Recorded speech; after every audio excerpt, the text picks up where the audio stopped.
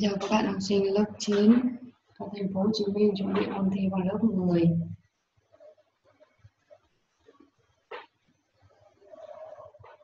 Bốn bài trong cái video ngày hôm nay liên quan đến vấn đề toán thực tế của mình học.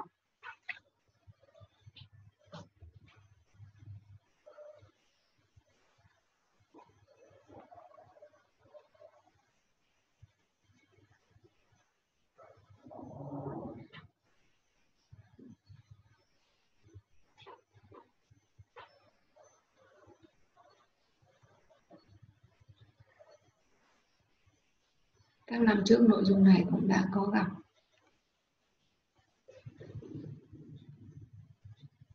Chúng ta đi vào câu thứ nhất. Một con robot được thiết kế là đi thẳng và quay một góc 90 độ sang trái sang phải. Có nghĩa là nó chỉ có chức năng đi thẳng, quay trái, quay phải với một góc là 90 độ. Robot xuất phát từ vị trí A.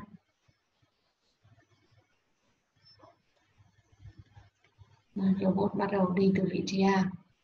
Đi thẳng 1 mét, đi thẳng 1 mét. Xong rồi quay trái, quay trái rồi đi thẳng 1 mét. Quay sang phải. Nếu như đi thẳng đi tiếp vào, nhưng mà đây là quay phải. Rồi đi 3 mét, vì đoạn đường này dài 3 mét này. Đây, 3 mét rồi nó đi tới đây rồi quay trái rồi đi thẳng 1 mét. Quay trái rồi đi thẳng 1 mét. Đến đích tại vị trí B. Rồi. Tính theo đơn vị mét khoảng cách giữa đích đến và nơi xuất phát của robot. Có nghĩa là để bài yêu cầu chúng ta phải tính cái khoảng cách từ A đến B. Độ dài từ A đến B là bao nhiêu? Kết quả gần đúng đến một chữ số thập phần điều này cũng rất quan trọng này lưu ý để các bạn ra đáp số chính xác so với đáp án, thì chúng ta mới có điểm tuyệt đối. Và chúng ta có hình vẽ. Này, robot này. Robot đi từ A đến G 1 mét, xong đó đi từ G đến H 1 mét, rồi đi từ H đến E 3 mét, tiếp tục đi từ E đến B 1 mét, là kết thúc tại vị trí đích là B. Yêu cầu đề bài là tính độ dài của đoạn là B.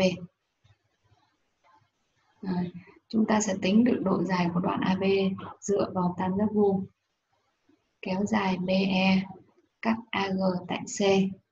Tất cả những đoạn côn cua này đều là vuông góc, cho nên cái góc C này cũng là góc vuông. Tam giác ABC là tam giác vuông tại C.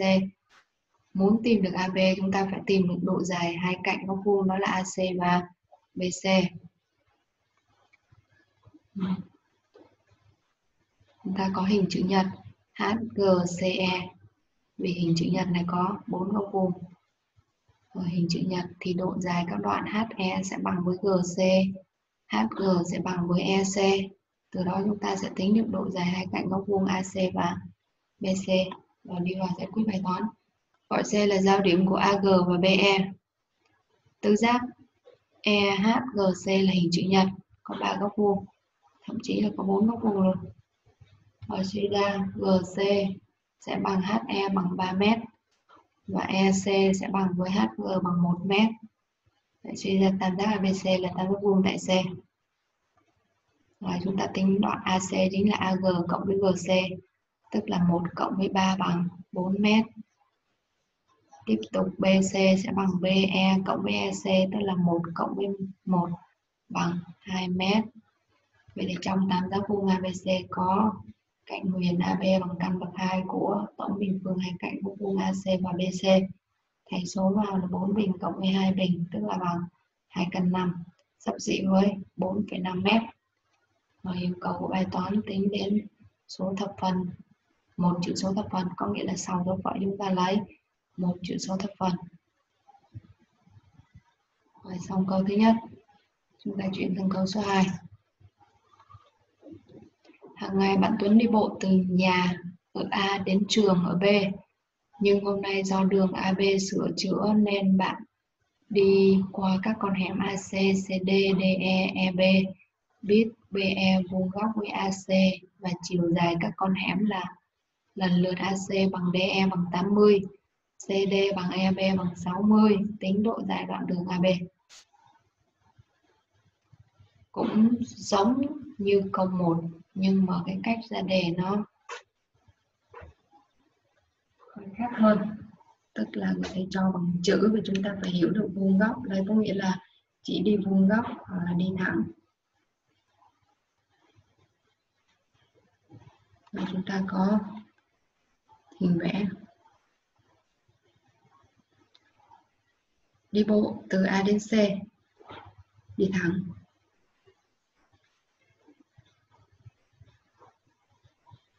Rồi bây giờ là đi các con hẻm này.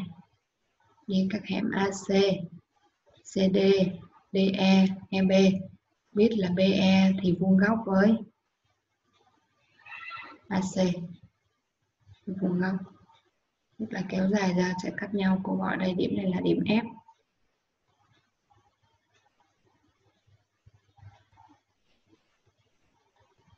Chiều dài các con hẻm là AC bằng 80 DE bằng 80 CD bằng với EB đều bằng 60 tính độ dài đoạn AB chúng ta cũng áp dụng cho tam giác vuông AFB AFB để tìm được cạnh huyền.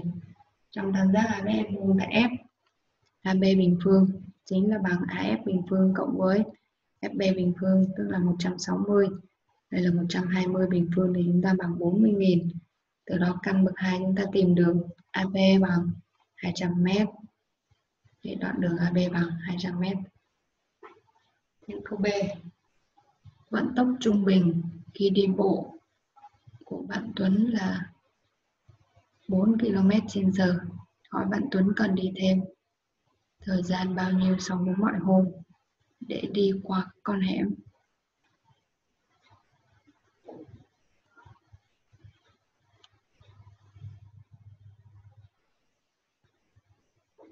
Thì chúng ta tìm cái quãng đường mà bạn đi đi.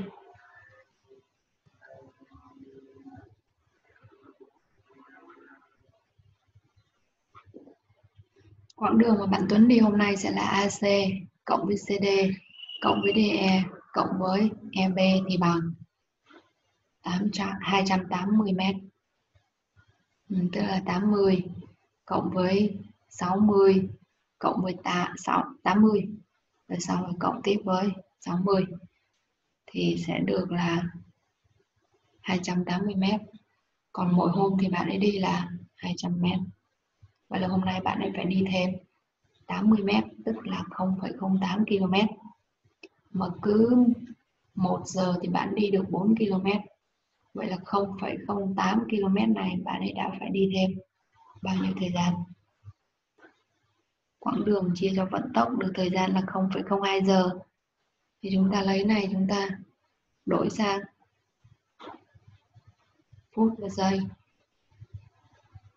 Tức là tương ứng với 1 phút 12 giây.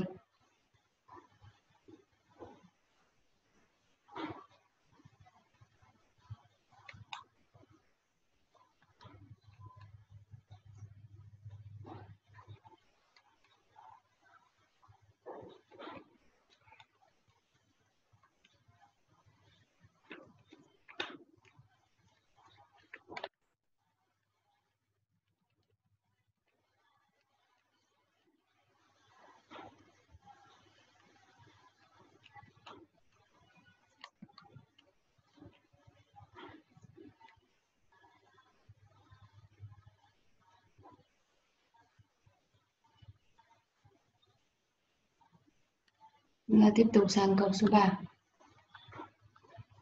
Một con robot được thiết kế có thể đi thẳng rồi quay một góc 90 độ sang trái và sang phải. Robot xuất phát từ vị trí A, đi thẳng đến C, quay sang phải rồi đi thẳng đến D, quay sang trái rồi đi thẳng đến E, quay sang phải rồi đi thẳng đến đích tại B, tính theo mét khoảng cách giữa hai điểm A và B. Giống như bài câu số 1 nhưng mà khác một chỗ là chưa cho hình mà chúng ta phải tự vẽ hình.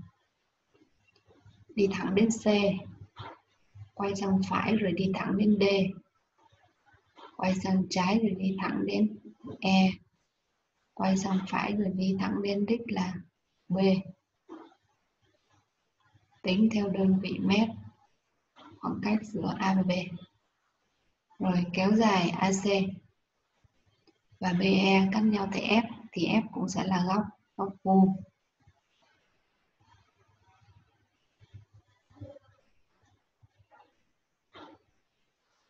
Thì chúng ta có hình chữ nhật CFED cho nên CF sẽ bằng với DE và bằng 40 còn FE thì sẽ bằng với DC và bằng 20 đó chúng ta tính được. Dùng tam giác vuông. AF bằng 80 cm BF thì bằng 40 cộng 20 là 60 cm trong tam giác vuông thì AB bình bằng AF bình cộng với BF bình, tức là bằng 10.000 để suy ra được AB sẽ bằng 100 m tiếp tục chúng ta sang câu số 4 nhanh quá câu số 3 mà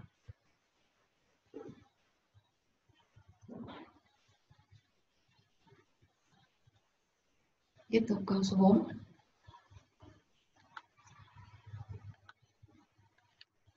Một con robot được thiết kế để đi thẳng qua một góc 90 sang trái sang phải. Robot xuất phát từ A đi thẳng 1 mét, quay trái đi thẳng 1 mét, quay sang phải đi thẳng 2 mét, quay trái đi thẳng 2 mét, quay phải đi thẳng 3 mét, quay trái đi thẳng 3 mét thì đi đến đích ở vị trí B. Vẽ hình biểu diễn đường đi của con robot. Tính khoảng cách giữa đích đến và nơi xuất phát của con robot. Vẽ hình. Có tới 6 đoạn đường, hai đoạn 1 mét, hai đoạn 2 mét và hai đoạn 3 mét. Rồi. Từ A đi thẳng 1 mét sang trái đi thẳng 1 mét sang phải đi thẳng 2 mét. Sang trái đi thẳng 2 mét. Sang phải đi thẳng 3 mét. Sang trái đi thẳng 3 mét. Là đến đích là là đích ở B.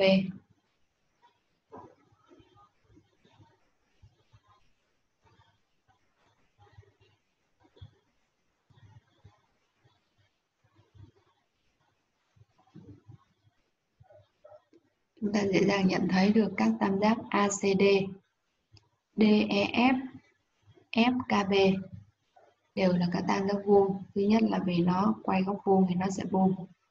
Rồi. Và góc này đều là góc vuông. Đồng thời cân 11, 22, 33. Tỷ lệ đoạn này chưa được đúng lắm. Thì 22 thì 33 nó phải dài hơn ha. Rồi. Vuông cân thì những góc này là 45 độ. 45 độ 45 góc này 45 vậy thì 45 góc D này 45 sẽ bằng với góc A là 45 ở vị trí đồng vị. Cho nên, đoạn này thằng A. 3 điểm. ADF thằng A. Tương tự, góc F này cũng cân. Trong tam giác cân. Thì F bằng 45 D 45 hai góc này ở vị trí đồng vị. Đồng vị, song song, đồng vị. Cho nên, đoạn này thẳng có nghĩa là DFB thẳng hàng. Hay nói cách khác là bốn điểm này cùng nằm trên một đường thẳng.